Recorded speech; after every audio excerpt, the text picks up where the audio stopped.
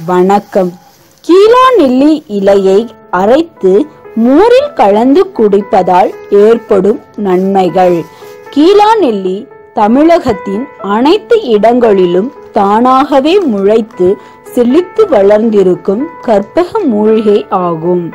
பொதுவாக மஞ்சள் காமாலை நோய்க்கு சிறந்த நாட்டு மருந்தாக பயன்படும். இதில் மேலும் பல மருத்துவ குணங்கள் அடங்கியுள்ளன.